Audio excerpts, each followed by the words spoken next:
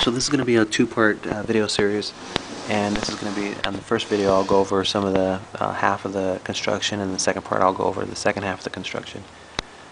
Just, uh, you can buy a, uh, just a basic standard uh, aquarium for about uh, $14. And this is basically a variation to a lid cover design um, from Tarantula Guy 1976 uh, Rob C. What I want to do is make a, uh, a lid cover for uh, the aquarium. And so what I do is buy some um, like an Opti, Opti Optix uh, acrylic sheet. And these acrylic sheets that you purchase have a, a, a thin protective film um, to prevent it from getting scratched up.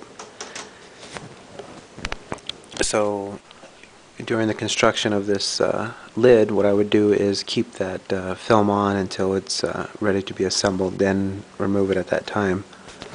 So one of the tools that I use is a carpenter's ruler, and this is good for like measuring uh, your, and then actually, and then uh, what I use is a as a black marker, and actually use it to mark the the acrylic sheet because it has that uh, protective film on it. Another uh, tool that I use is, uh, or purchased is a, a few of these, uh, uh, they're kind of uh, vices and clamps. And I utilize these to hold down the ruler and uh, to the acrylic sheet and then to the actual workbench. And I have some um, smaller clamps that I can use um, in other areas if I need to.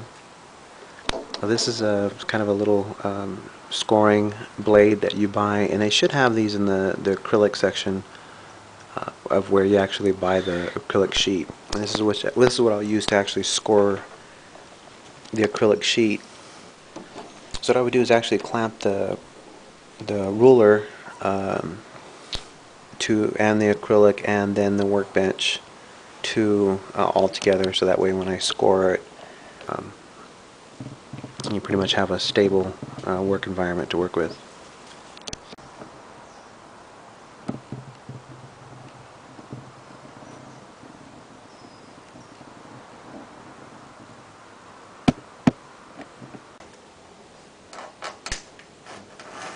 What I would do is mark the mark the individual piece where I'm actually going to uh, put the venting holes and once I get an area of how uh, where I want the venting holes, um, then I'll pre-drill it with um, with a hole saw. And uh, basically, the hole saw attaches to your drill. You can either buy them in a like the particular um, vents I'm going to be using are three-inch vents. So uh, what I did was purchased a, uh, a set of the hole saw, and then I'm using the actual three-inch hole saw and this is what I'll use to, to, to drill through the acrylic sheet for uh, to attach the, the vent.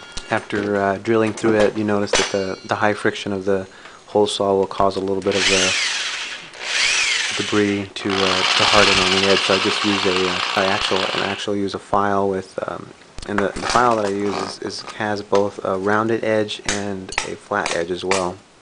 Um, the, the file that I have here will be um, well, use actually the round and the flat side for this project. Now the round part of the file saw I would use to, after removing the uh, the extra debris, I would uh, use the, the round part of this to actually kind of file it down a little bit. So I'm trying, this is actually going to be a two-part lid cover where one part would be a stable and the other part would be um, um, for the door or the access inside the cage. I'm as I'm doing some final sanding, I'll, I'll um, checking and periodically checking the, the lid covers to make sure it's a, it's a good tight fit.